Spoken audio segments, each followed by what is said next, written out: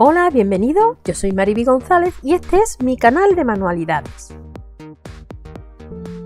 En el vídeo de hoy vamos a reciclar un bote de cartón, de estos que traen tabaco, que son tan feos, pues vamos a reciclarlo.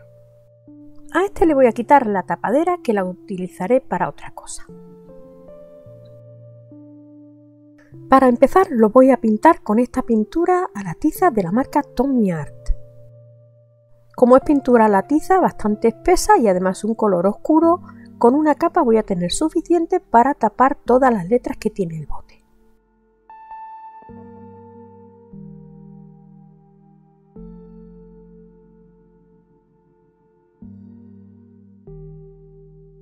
Para el decoupage voy a utilizar esta lámina de papel de arroz italiano que es en tamaño A5. La voy a recortar con un pincel y un poquito de agua. Voy a ir humedeciendo el contorno por donde quiero romper la lámina. Y de esta manera la voy a ir cortando.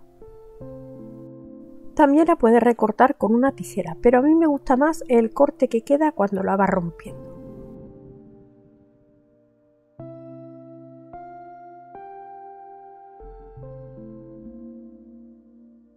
Ya se ha secado la pintura y tengo recortada la lámina. Entonces vamos con el decoupage. Como medium para decoupage voy a utilizar este pegamento. Aplico el pegamento en la zona que me va a ocupar más o menos el trozo de papel de arroz. Yo calculo la superficie que me va a ocupar para no quedarme corta. Y coloco el papel de arroz.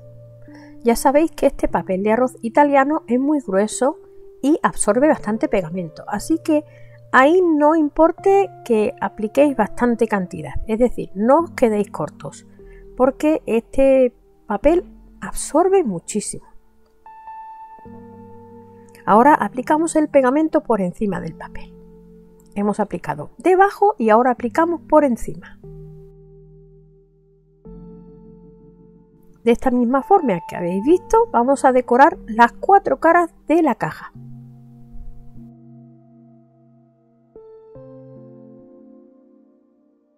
Voy a colocar este stencil sobre el decoupage que ya está seco para marcar este arco de, la parte de arriba. Voy a sujetar el stencil con cinta de carrocero para que no se me mueva.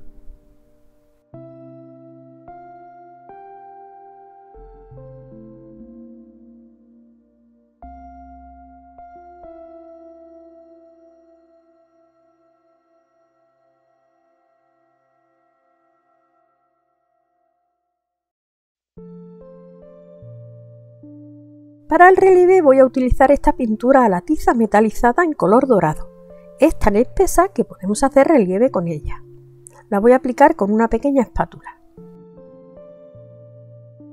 Para ir haciendo los relieves en cada una de las caras del bote, tengo que esperar que la cara anterior que he hecho se seque, porque si no, al trabajarla se me pueden borronar. Así que hago esta cara, espero que se seque y voy con la siguiente. ¿Veis? Ya se ha secado y continúo haciendo la siguiente cara. Cuando haga este relieve lo dejaré secar y así sucesivamente hasta concluir las cuatro caras.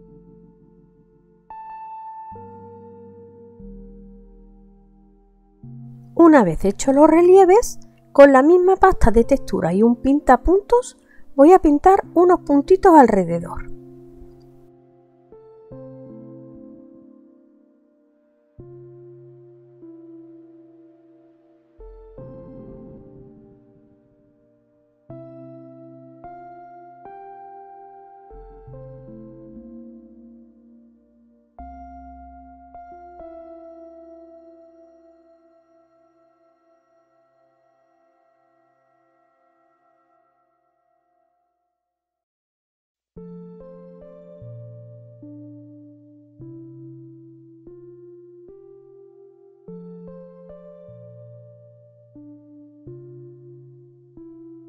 Ya se ha secado el relieve y ahora voy a utilizar cera dorada para sellarlo todo.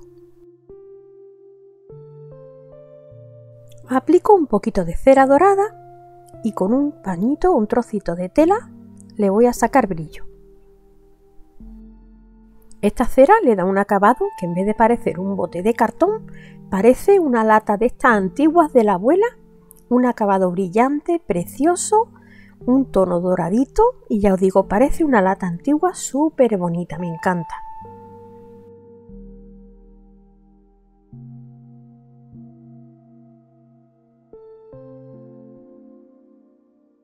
Fijaros qué toque más bonito le ha dado la cera dorada. Y ahora para terminar le voy a pegar una cinta de algodón de estas que me enviaron de la marca BB Craft. No sé cuál elegir, voy a ver cuál me gusta más. Si esta, a ver, yo creo que sí, ¿no?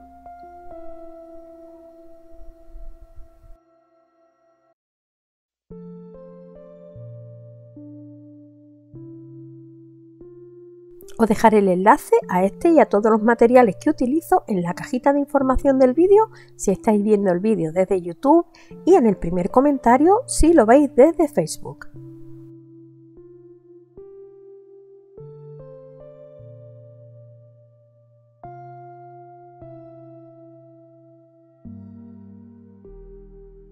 Y aquí tenemos el trabajo terminado. Espero que te haya gustado, si es así, déjame un comentario, dale a like y no olvides compartir este vídeo en tus redes sociales porque así me ayudas a que el canal siga creciendo.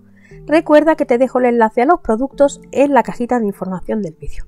Y nada más, ya me despido, un besito enorme y nos vemos en el próximo vídeo. Hasta pronto amigos.